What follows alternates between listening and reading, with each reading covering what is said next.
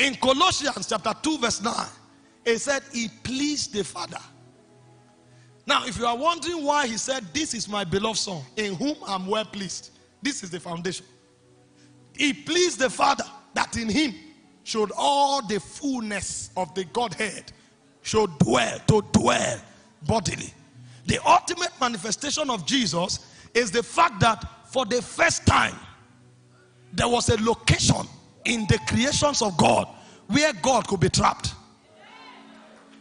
Because before the emergence of Christ, there was nowhere you could find the fullness of God. It was impossible.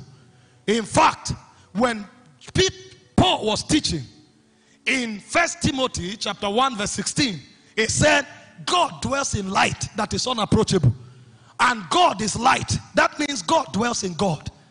There's nowhere you can find God except in God. So God was secluded from creation. Every time God steps into creation, it was measures that were put in creation, even in heaven, because there is a realm beyond heaven.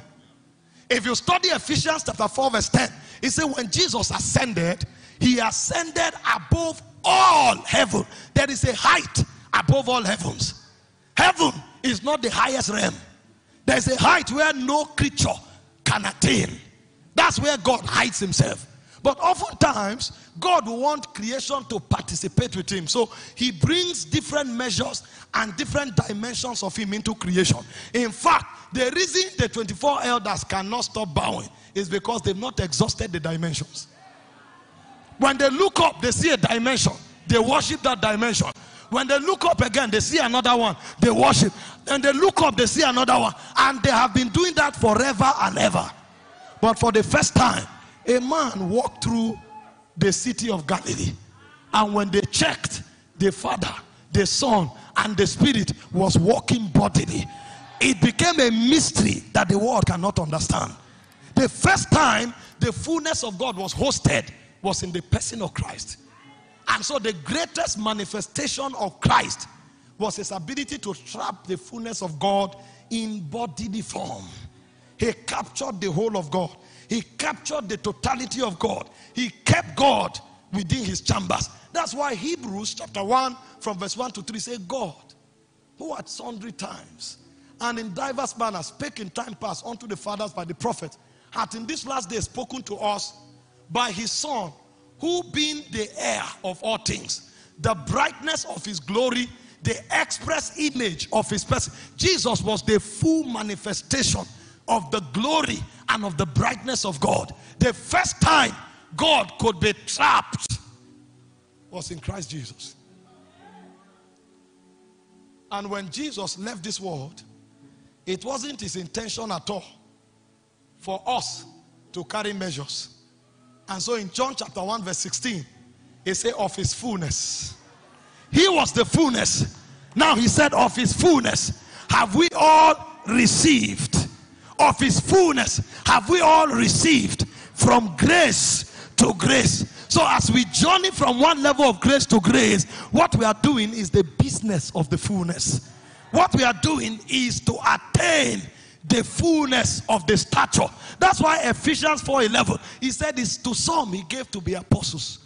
To some he gave to be prophets. To some he gave to be evangelists. To some he gave to be pastors and teachers for the equipping. That means we needed to be trained to come into experiential manifestation of the fullness of God that is in our spirit. So the job of the apostle is not to heal the sick.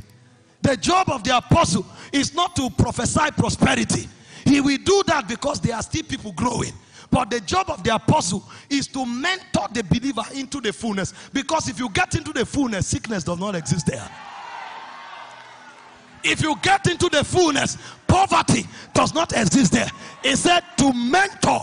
The word is katartismos. It means to equip you with light until you become a custodian and a manifesto of the fullness of God. That's why I said, henceforth, not being tossed to and fro by every wind of doctrine, but we will come into the fullness of the measure of the stature of Christ. So when you find a believer, a believer should be a replica of Jesus.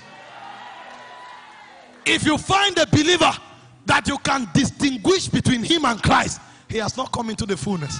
The idea behind the fullness is to mass express God. So when you come to church, you find God sitting. When you go to the market, you find custodians carrying dimensions of God walking on the street. This is why Christianity is not another religion. We respect all the religions of the world, but this is divinity expressed through humanity. This is mortality swallowed up by immortality. And so when we look at you, Paul said, henceforth, no we, no man after the flesh. When I see you, I want to see the first dimension of Christ that radiates.